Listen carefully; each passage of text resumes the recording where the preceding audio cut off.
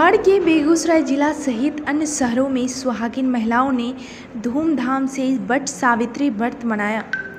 बताया जाता है कि हिंदू धर्म में यूँ तो पति की लंबी उम्र के लिए कई व्रत रखे जाते हैं, लेकिन वट सावित्री के व्रत का अपना अलग ही महत्व है।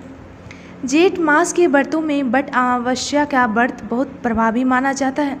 जिसमें सौभाग्यवती स्त्रियाँ अपने पति की लंबी आयु एवं सभी प्रकार की सुख समृद्धियों की कामना करती हैं। इस दिन सभी सुहागन महिलाएँ व्रत रखती हैं और वट वृक्ष की पूजा करती हैं। माना जाता है कि वट वृक्ष के नीचे सावित्री ने अपने पति व्रत के प्रभाव से मृत पड़े सत्यवान को पुनः जीवित किया था। तभी से इस व्रत को बट सावित्री नाम से भी जाना जाता है। इसमें बट वृक्ष की श्रद्धा भक्ति के साथ पूजा की जाती है।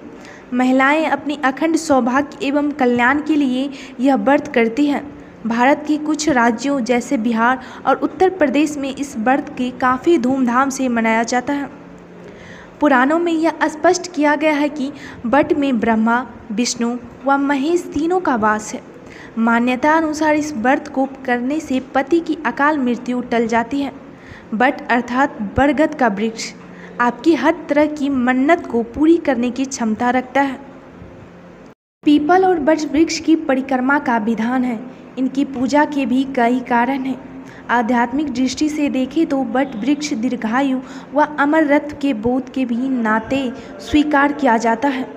धार्मिक मान्यता है कि बट वृक्ष की पूजा लंबी आयु, सुख समृद्धि और अखंड सौभाग्य देने के लिए साथ ही हर तरह के कला और संताप मिटाने वाली होती है। बेगूसराय टुडे के लिए श्याम सुंदर की रिपोर्ट।